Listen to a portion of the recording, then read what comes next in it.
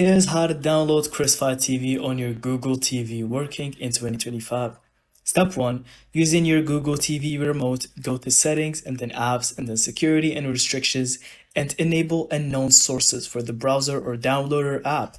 This lets you install apps outside the Play Store. Step 2. Open the Google Play Store on your TV and install the downloader app by AFTV News. It's free and made for side loading APK safely.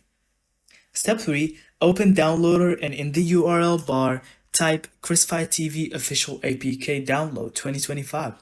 Make sure to use a trusted and verified source. I will leave you a link for the official Cricfy TV website in the comments.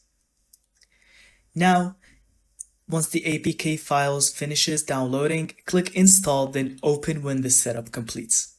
Step 5. Head back to your app section, select Cricfy TV, and you're ready to stream your favorite sports and shows directly from your Google TV. And that's it. Thank you so much for watching. I hope you found this video helpful. And don't forget to leave us your thoughts in the comments.